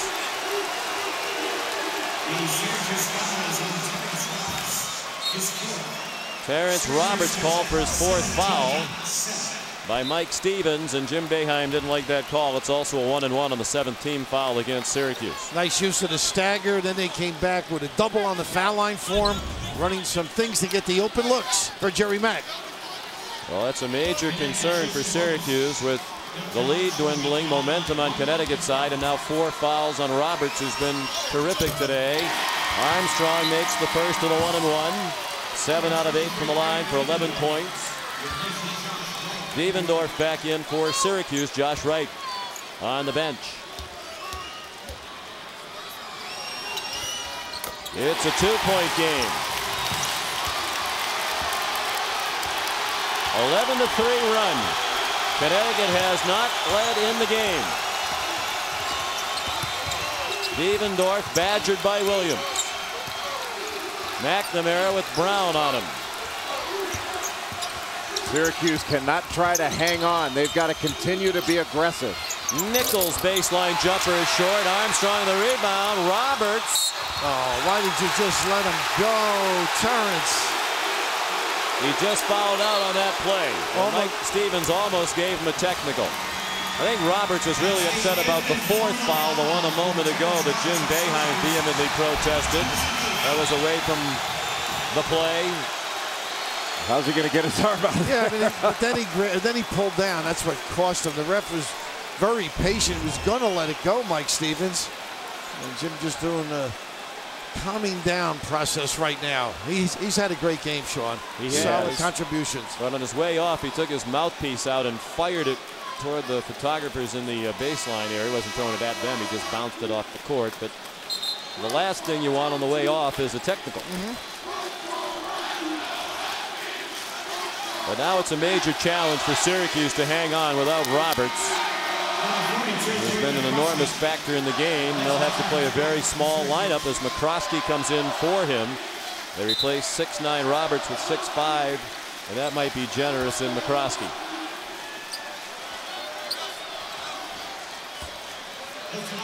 And Armstrong back at the line. He's 8 out of 9. Their team is 18 for 21. Yeah, this kid's improved every year steadily. Solid play. Become a good shooter from that 15 in range. He's matured into one of the nation's best big men. Blocks shots, rebounds. He's a presence. First time the game's been tied since they threw the ball in the air to start it up. 13 to 3 run for UConn. Then a long five minutes to go for Syracuse playing shorthanded now without Roberts. Nichols short again with a three. Foul on Connecticut on the rebounding action. Just the 15 foul, so not yet a bonus. It's the fourth. That's right, Jim Calhoun on Denham Brown. They charged it to Brown. And Rashad Anderson will come in for Brown over their careers. They've basically been interchangeable parts. As a matter of fact, Jim Calhoun has said on a number of occasions, maybe they shouldn't have gone to the same school because in many ways they're much the same player. For Syracuse now, the satisfaction, they can run that side pick and roll and get whatever they want. Uh, run it with Demetrius Nichols out here, and you're Pick and pop, right? Nichols has missed a couple of open jumpers on recent trips. Watkins with the right-handed jump hook. Boone got knocked to the deck without a whistle. Now a scrum, a held ball, and it goes to Connecticut. Boy, that's a perfect shape up right under the rim. And uh, Jim knows he got what he wanted.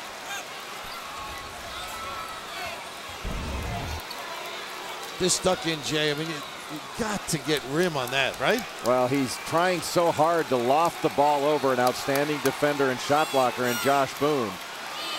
But when he extends, he's just not getting any touch on that ball. He's almost slinging it.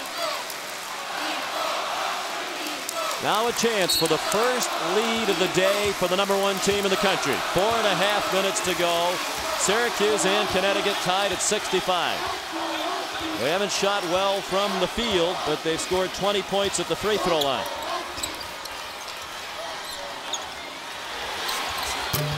Anderson's three would not go. Foul on the rebounding action.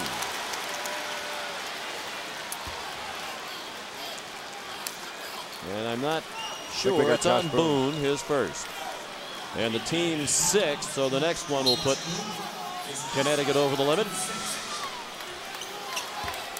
If you're Syracuse now, especially without Roberts' momentum going against you, would you try to run some clock on virtually every Now, I, possession I if you can? I think what Jay said earlier is true. I think they've got to attack, run this stuff, maybe take a little time, Sean, but play within the offense, though. You just don't want to give the players the feeling that they're trying to hang on. Right. You've got to aggressively try to go out and win this game. Nichols with Armstrong out on him. Tough fadeaway by Demetrius Nichols. He has 15. That's his first bucket of the second half. Well, that kid could be so good because he's got the deep shot and the ability to get a middle game going.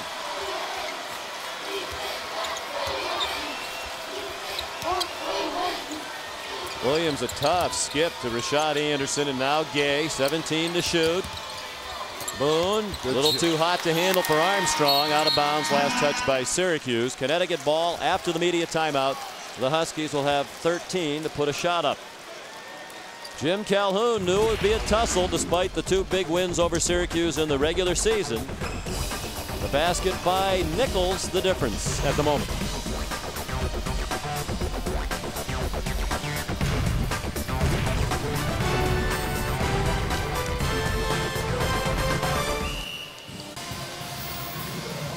Welcome back to the Big East Championship presented by Aeropostale, the first of four quarterfinal games. Another dandy here at Madison Square Garden. Syracuse has not trailed in the game. They led by 14. Now they're clinging to a two-point lead with 3.25 to go. And Connecticut ball with 13 to shoot out of the timeout. Zone's got to pay attention now. Try and make them use a little bit of clock. Marcus Williams. Oh, wow. Ooh, Boy, from out there, thought he got ball. Jim Burr said no. Ooh. Well, that's the one weapon that you've got to contain. Don't let Williams get in the cracks, get in the lane, and a little bit disgusted, and rightfully so. Devendorf with his second foul. Williams three out of four from the line today. Connecticut hasn't lost its first game at the Big East tournament since 2001 when Syracuse sent them packing. They've been on a roll in this tournament. Won 18 of the last 22 games at the Big East Championship. They played in the title game seven times in the last 10 years. Trying to get there again, tied up with just more than three minutes to go. Syracuse has answered just about every UConn challenge in this game. This will be the toughest one to answer right now because there is a lot of game pressure on the shoulders of the Orange. Was a big call a moment ago. Syracuse thought it had a steal and a chance for a four-point lead. Instead, Connecticut tied it, but the response by Devendorf off the feed from McNamara. That shot. By Anderson, a leaner on the baseline. Syracuse the ball. The Hold this- two-point lead with 2.38 to go. Pull the string a little, Sean. And what's the rush?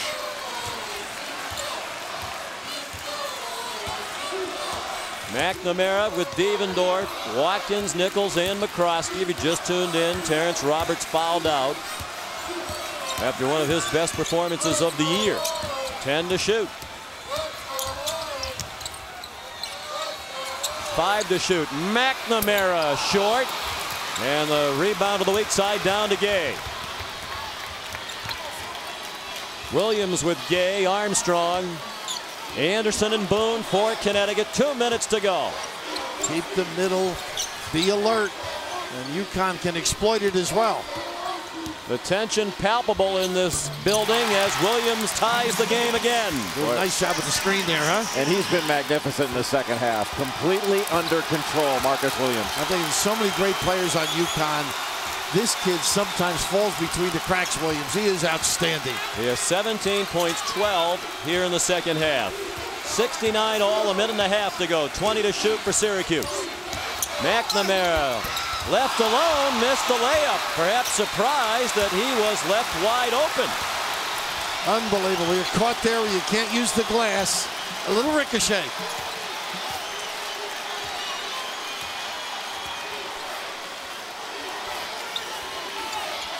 Another chance for the lead for the first time today for Connecticut. With one minute to go, Williams blocked by Devendorf. Devendorf ahead of the pack. Anderson racing back. Devendorf, Oh! the spinning score. How about that footwork? That was gorgeous. Sensational on the open floor. And boy, does that teach kids a lesson. Learn how to use the offhand. Terrence Roberts, an excited spectator. Eric Devendorf, the freshman from Bay City, Michigan.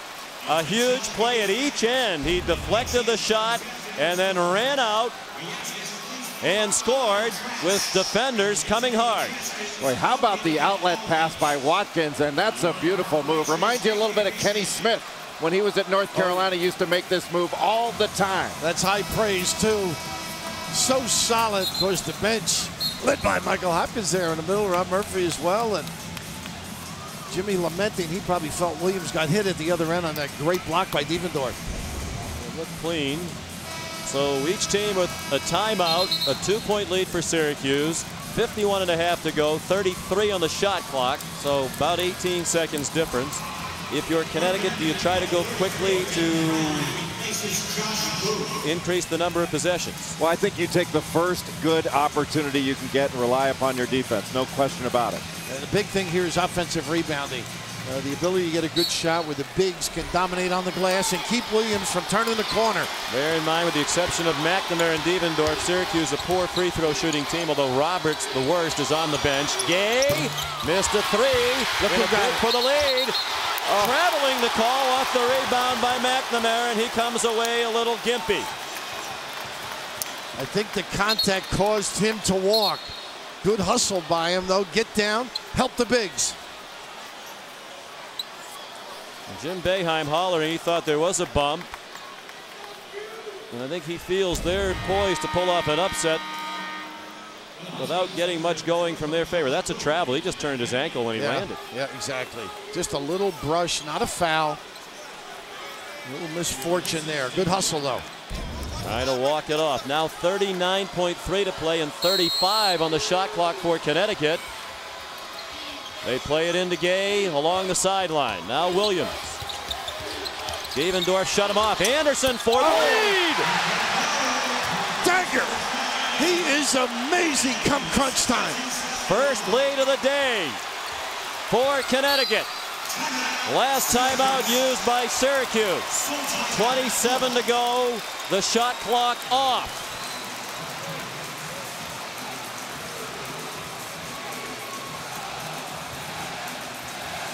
And what a big play, gentlemen, that McNamara could not land without traveling with that rebound. It gave Connecticut another chance to take the lead, and you give the best team in the country extra opportunities. They will convert. Yeah, I think McNamara was saying to the officials that this guy's just incredible. Every big time jump shot for his four years, he's been able to convert. McNamara was talking to Ed Corbett saying he was looking for a timeout on that uh, stumble that he had.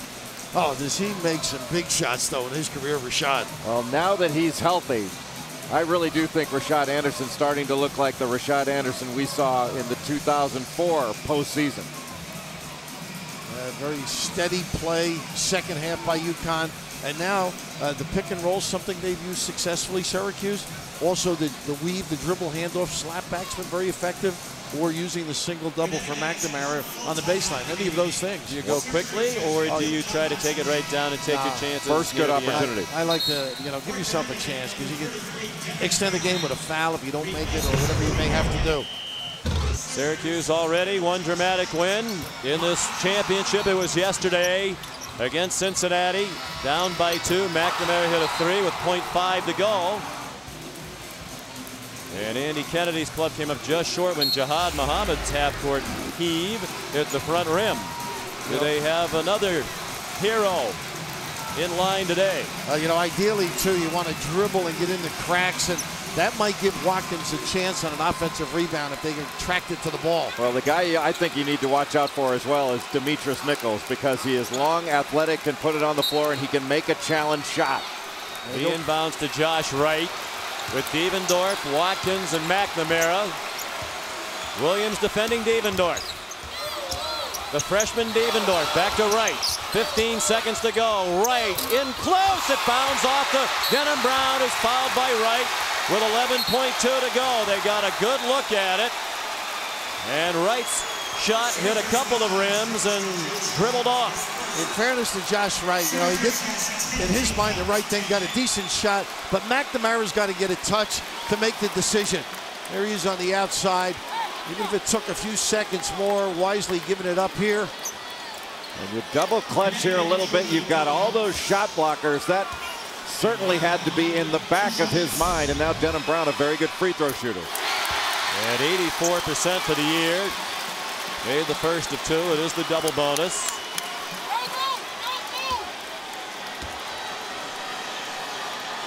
No timeouts for Syracuse.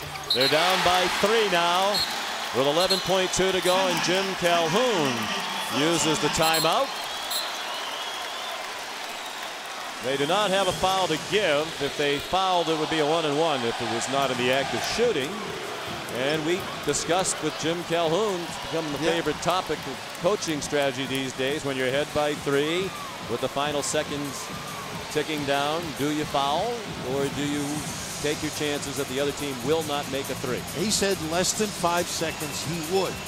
Correct? Mm-hmm. In that little get together we have with him? Well, I think that's the conventional wisdom is if it's under five seconds, you can give a foul when you're up three. But the question is, you know, with 11 seconds and Syracuse bringing it the other way, I mean, you're going to have to make some decisions on the fly, and you're asking some big guys to perhaps make a decision. You don't want to let anybody get into their shooting motion. You have to give the foul the right way if you're going to do it. He may play smaller also, UConn, simply because of the three guard look by uh, the Cuse. McNamara would obviously be Jim Boeheim's first choice, but Devendorf and Nichols capable from three-point range. Now they're going to pressure a little bit, at least with McNamara. The danger here is you turn it into a speed dribble. You can get up the court quickly and maybe get an open opportunity. Nichols inbounds to Devendorf, and now McNamara, 10 seconds to go. McNamara, a deep three! Oh, Five and a half, time for Connecticut. Williams, three seconds to go for the win. No, and we go to overtime.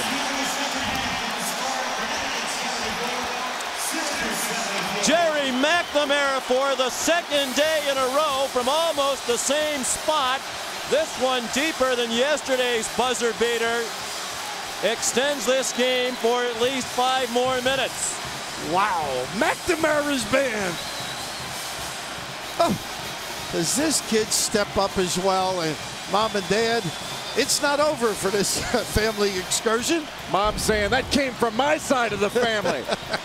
Look at this guy. Just the ability. Uh, you know, it's funny, Jay. The speed dribble gives guys you back up defensively. You're giving ground. It's a dangerous thing to do, but this kid just provides the lift when necessary. Williams with a pretty good attempt here too. Almost goes.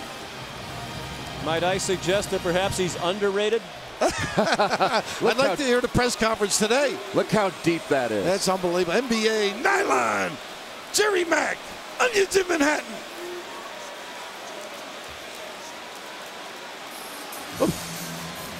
My goodness. It's amazing.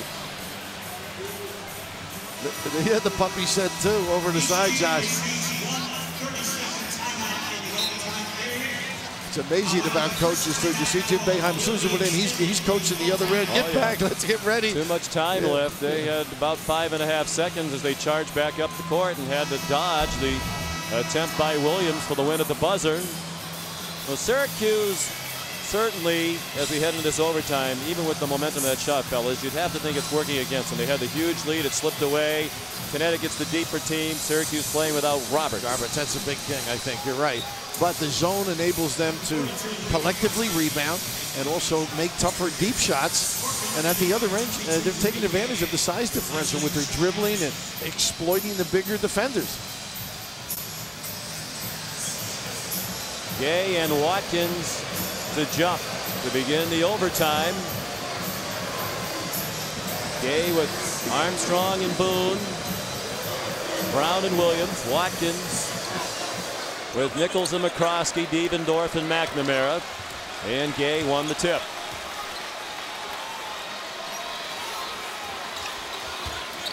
UConn needs to look inside along that short corner. The bigs dive. There's a little screen. Screen and he went up the lane arm. What a great look here. Under Boone lost the handle, then swatted from behind by Nichols. Brown rejected by Watkins, and he's called for the foul. And that's the fourth on Darryl Watkins. So they've already lost one of their two big inside players to fouls, and now Watkins in jeopardy as well. maybe as good in the country in interior passing these guys. Aren't they amazing? Great look by Armstrong. Unfortunately, Boone got tangled a little too deep. Denham Brown perfect from the line. Of course, it was big that he made both free throws in his last trip to the line in regulation because McNamara's three only tied the game, and Brown missed one. McNamara might have had a game-winning three at the buzzer or near the buzzer for the second day in a row. The lead two for Connecticut. They trailed throughout regulation until the final minute. Went up by three, only to see Syracuse tie it on the McNamara shot in the final seconds. McNamara guarded by the much bigger Brown. Brown six six, 6'6". Devendorf the score. How creative was that? Oh, he is a shot maker. Gay drives by Nichols, dumps it off for Boone. He's fouled. Boy, the dribble has been favored, Jay, by Syracuse. Great job taking advantage. Little screen on the handoff, the slapback. Yeah, just a handoff and screen. UConn's got to think about switching that. They have similar defenders that are involved in that action. A switch might cut off that middle. Boone gets the roll around the rim. Devendorf's foul his third. Second half team foul situations carry over, so remains a double bonus. Syracuse over the 10. Friendly rim on both shots for Boone.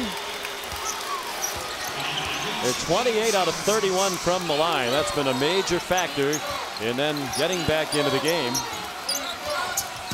Syracuse 10 out of 14. McNamara off the mark.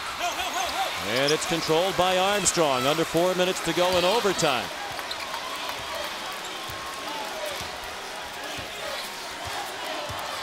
Largest lead for Connecticut was three. Of course, they only led in the final minute. That was in the final seconds before the McNamara heroics. Williams, a deep three off the mark. Long rebound, Devendorf. Had a chance for a moment to run with McNamara, but Connecticut got back Oh. well, and the pass, a tough one. Wound up with McCroskey. Watkins gets the bounce and the foul. Boy, fortuitous, would you say? A ricochet, not a good look by Devendorf. First of all, Watkins struggles catching, and yet it goes the right way, huh? There's that length again defensively. And able to get a piece of it. Little slip pass and two behemoths going at it. Well, fortunate to score off the broken play, but Jim Boeheim wants his team to take it in transition if it's there. If it's not, bring it out. Make Connecticut guard shorten the game a bit. Swish from the 50% free throw shooter. He's two for two from the line today. Syracuse by one. 3.15 to go in overtime. Well, Jim Calhoun said before the game, Syracuse over the last 15 years has become our biggest rival, and this is a game that will add to the legacy and tradition. Armstrong missed the dunk, held ball, Syracuse ball. That's interesting. Devendorf again, the spin dribble. He got caught that time. Earlier, he did the same thing. They could have stolen. He's got to be careful. Well, he's got to just get possession and let the traffic Right. go by him. When you try to just catch and dribble, that's when you get in trouble. They inbounded the ball, but Mike Stevens, the official in front of the Syracuse bench, said, wait a minute, Connecticut had six players on the floor. They were trying to substitute. Armstrong was going off, and he wasn't off. And Jim Boeheim saying, too Give- bad. give me the You guys gave uh, him the ball. Let you administer the game. That would add another controversial chapter to the history of the Big East Championship, which has had some memorable moments over the years. Pick and pop. McNamara into the lane again. The floater wouldn't go. Nichols the flush, and he missed it. Watkins the rebound. McNamara thought about an NBA three, and they'll bring it out to Devendorf. Two and a half to go in overtime. Syracuse by one.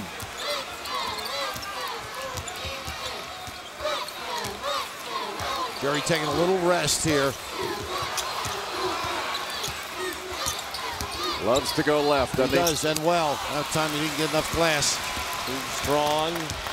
Marcus Williams back the other way for Connecticut. Back and forth they go. UConn another chance to grab the lead. It's been a rare lead situation for them today.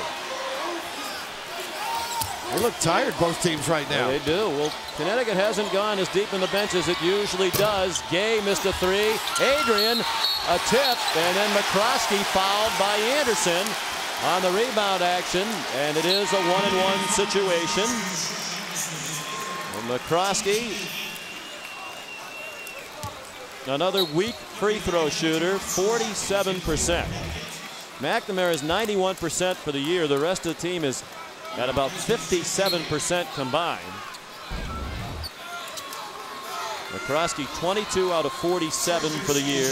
His first trip today. In the front end of a big one and one with 150 to go. And you, as an offensive player, have to know the shooting percentage. You want to anticipate, maybe get a rebound or slap it back out. Louie McCroskey did not get the bounce. The rebound by Gay. They got to stay at home with Anderson on this wing. That should open up the backside. Williams back to Gay with Boone, Armstrong, and Anderson. They do run out to Anderson quickly. They run out to him again. He gets himself free for three. Rebound Armstrong, stripped by McCroskey. He has the ball on the floor. Gets it to McNamara with numbers. Four on two, and he elected to pull it out. Smart, smart, really. Chance of a mishap. Nichols to the basket, fouled. Really, even four on two, Bill? You Well, think it's I- smart to yank it out? When he spun him around here, he did the right thing. You know what I mean, Sean? Mm-hmm. They forced him to turn. Now all of a sudden, a lot of bad things could happen with the backflow of the defense. Armstrong is just fouled out, so he's the first Husky player disqualified on fouls. And when play resumes, Nichols will be at the line. He's 68% for the season. Two out of four from the line today. 14 points and 10 rebounds for Hilton Armstrong. Those become typical numbers for the senior this season. Well, Jay's our authority on backflow, as he said early in the year, the deflections. And this is what I thought. You were right. They had the numbers. They got the run out. And as they turn him up here, Sean, I think right there. Now, you, you follow what I'm saying? Yeah, but I don't know if McNamara fully realized that The numbers? the four on two okay, numbers. you might be right. But maybe, maybe that would have been a decision anyway. He's very bright. He has a Syracuse education working in his favor. Well, Well, he's also got a great feel. And he didn't feel that that was the right situation. And it certainly worked out getting to the free throw line. I'm sure he studied for his, by the way. Nichols. This will be the last one and one. The next team foul will be the 10th of the second half and overtime for Connecticut. Every free throw huge now. A three-point lead for Syracuse. 115 to go in overtime. Still Shannon think, Brown came in for Armstrong. Pardon me. still think you go inside. Yep, and there they got it if they want it. to Gay at Watkins. Too strong. Rebound in traffic by Watkins. He contested the shot and got the rebound. And now Syracuse will look to run some clock. They don't want to foul McNamara. Devendorf is 82% from the line as well. They do foul McNamara, the best free throw shooter in the history of the Big East. Well, the two guards shoot the ball well. Sean Devendorf and McNamara. What an intelligent play by Gerry ran McNamara. As over- soon as he gave it to Devendorf, he ran over eyes wide and said, give it back to me. And Rashad Anderson just did him a huge favor by fouling him. Two for McNamara. It's a two possession game. His parents, Joyce and Gerry Sr., have been at every game. Boy, have they some, seen some highs and lows just in the last couple of weeks. He made them both. Syracuse by five, 48 seconds to go. Now you have to guard that three-point line. Seven unanswered points for the Orange. Brown wants the three, didn't get the three. Rebound Gay off to Brown. Blocked by Watkins. And it hit the end line. So Connecticut ball, 35.2 to go and 32 on the shot clock. Well, they got a great opportunity there.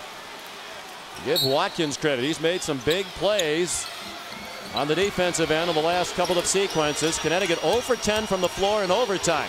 Brown, Wow. three, Wow. in front of the bench. How about that? He had stretched the D. They could have made a dump inside as well. Big time delivery. Well, they are champions. Brown's been a national champion, a Big East champion. He and the uh, fellow seniors have been through all kinds of pressure situations. Of course, he was the hero on the last second shot in Maui to start their season and was the MVP at the Maui Invitational with that shot over Gonzaga in the championship game. As they discuss strategy, let's send you quickly back to the studio on a big day in college basketball. Here's another update. Well, somebody's bubble just burst. The officials are over the monitor making sure that Denham Brown shot was a three. The standby official Bob Donato there with Jim Burr. Looked like a three. Yeah, looked looked good. Boy, No his question. strength, his strength just to get by that double team, extraordinary. Well, they've earned their little envelope today. These guys. Good job, really, Jim Burr, Ed Corbett, Mike Stevens. And It's not like Syracuse didn't have a hand up either. Let me ask you this, fellas. Obviously, uh, Syracuse very much wants to win. I think that would, without question, cement their spot in the field. Should it not go their way? Have they done enough with this performance against the number one team in the country? No way of knowing for sure, but if you're the tournament committee, would this not make an impression? Well, you know, f- they don't evaluate how hard you play or how well you play. They evaluate on wins, but certainly against a number one, number two team in the country, as they played what Villanova and Connecticut down the stretch, it's got to impress them. Well, they do they do evaluate quality losses though and Oh quality no, I know quality, but I mean the win is the big thing. Yeah, it's, it's the huge thing. There's no question that the, the great dividing line is winning and losing. But, but there's no question, in my judgment, that Syracuse will be among the 34 best teams after the automatic qualifiers are in. And that's the measure. It's not did you win X amount of games? Did you win X amount of games versus top 50? It's the 34 best teams after the automatic qualifiers are in. A little pressure now. You don't want McNamara to get the ball. They got Austrie to deny him. And if you're Syracuse, you don't want Watkins and McCroskey to get the ball. You want Connecticut to have to foul one of the good free throw shooters out there. McCroskey throws it to Watkins. They should foul him. And they do at the last second. That ball hit the net It, it as it was coming in. It could have hit the back of the backboard. That's you've got to get wide away from the glass. That was a real dangerous play. Boy, Watkins, the man they least wanted to catch it, and he had time to get rid of it, it seemed, and held it long enough to give UConn a chance to foul with 26 seconds to go. There are the season numbers, but that includes McNamara's 91%. Watkins two for two today. He made one a moment ago. As he said, started the day at 51%. This is a two-shot opportunity, and it rattles in. Good for this kid. I mean, this is a very tough position for anybody to be in, but particularly if you don't have the utmost confidence. 13 points for Darryl Watkins from across the river in Paterson, New Jersey. Big second free throw. He's perfect from the line today. That makes it a two possession game again. Oh. Devendorf a steal. Oh. And he missed the layup. That might have cemented it. Brown at the other end with a three. Unbelievable turn of events. They get the giveaway on McNamara. Oh, Boy, Boeheim wanted Devendorf to pull that ball back out. and once he went all the way, the release was too harsh. You've got to slow down if you do take it. And I think Jim was right. Better served to dribble right around to the other side. Boy, he made a great play to steal it, but then a little too excited as he went in to shoot. Perhaps the presence of Boone in his mind as well. But now McNamara with two huge free throws. And Denham Brown had just talked to Gerry. He was laughing prior to the free throw. A little up and chip on the line. Yeah, this is just the appetizer in the quarterfinal round. The opening offering of four today. Most of the fans now around this venerable building on their feet. McNamara, rare miss. Now two to tie, three for the lead, perhaps the win for Connecticut. Williams goes quickly, a floater, pops out, rebound in the corner, scrum, held ball, Connecticut ball, 5.6 to go. Oh, squeeze it. That was such a big rebound.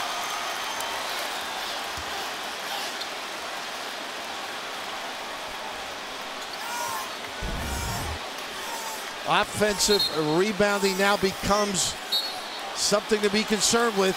How much closer can you get to going in than Marcus Williams shot right there? And you think these kids don't want the ball? Oh boy, what effort. Boy, Nichols and Devendorf had a chance at the possession, couldn't quite come up with it. No timeouts for Connecticut. Syracuse has one. Side inbounds. And Sean, the big thing, Williams might get a screen. Let's see if they pick him. Better hurry up. Yeah, he's diddling with the ball. This is a two for the tie. No, the tip, no! Syracuse wins! Wow.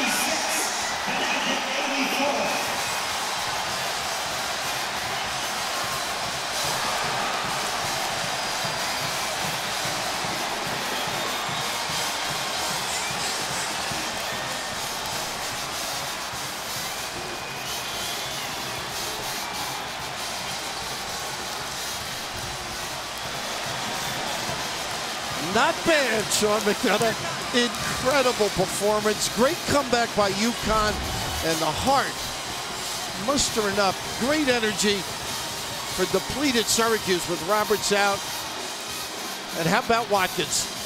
Incredible with the two free throws. And right here, you can't get a better look. He splits with the curl. Devendorf doesn't close it. And how tantalizing is that? Syracuse with an amazing performance. A team that came to New York having lost three in a row. And one week ago today, they lost at DePaul by 39 points. A team that did not even qualify in the top 12 of the Big East to make it to this tournament. The McNamara celebrate. The party will go long into the night in Scranton, Pennsylvania. And on the hill on the campus of Syracuse University, Jim Boeheim just walked over there at a table with his arms outstretched as if to say, Are we in now? Julie Boeheim thinks so, fighting back the tears. After one of the biggest wins in recent history among many for Jim Boeheim. He's with the underrated Gerry McNamara. Yo, Jim, I've been doing all my bracketology work, and I need to know from you how many more do you need to get in? I'll tell you what, I, think if you can beat the number one team in the country, you should be in. But you know, we've had a great year. Uh, we really, this is amazing. I believe Connecticut's really, truly the best team. And for us to come out here and we even made some bad mistakes at the end of the game and still win. But this guy right here besides me, he came down and went up for that three. I, I knew we were going overtime, but I didn't think we'd have enough left. I really didn't. We had our small guys out there, and I mean, they just battled their butts off. I'm just more proud of this team than I think any team that I've ever coached because we lost three games in a row coming down here, and it would have been easy to not show up. These guys have been great, and it's all because of this kid here. He he doesn't want to lose. You know, yesterday you passionately defended your player for some perceived shots. How you feeling about the stance that you took yesterday in your press conference? I feel real good, except that my wife is mad and the chancellor's mad. I shouldn't have swore. That was a huge mistake on my part.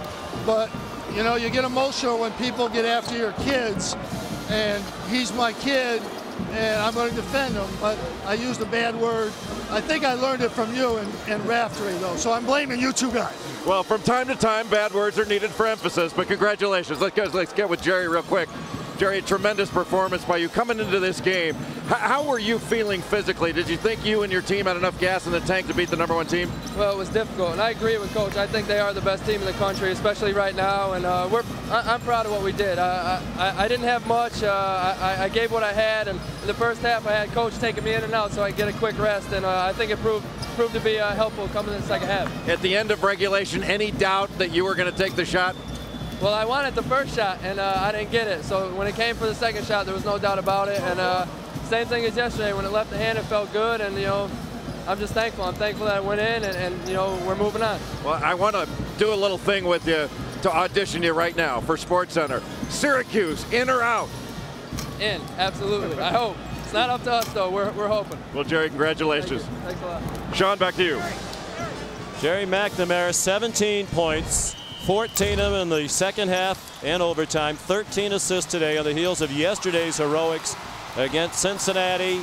He did it again today. His team led for 39 minutes, but then fell behind against the number one team in the country. His three got them even again, forced the overtime. They were without Terrence Roberts, as Jim Boeheim said, had to play small. Second day in a row they played while Connecticut was off, seemingly much working against them, and yet they persevered. You could hear the pride and the emotion in the voice of Jim Boeheim as he talked about what has transpired here in New York on these two days. And they live to fight another day against either Marquette or Georgetown. Those two teams are on the court, warming up for the second game of the day in the very tough act to follow department. Final score in overtime Syracuse 86, Connecticut 84. The Orange, without question, now heading to the NCAA tournament, one with some eyes, and for somebody else, the bubble just burst. We'll be back in a few minutes with the second game of the day, Marquette and Georgetown. But now let's send you back to the studio to Karl and Doug.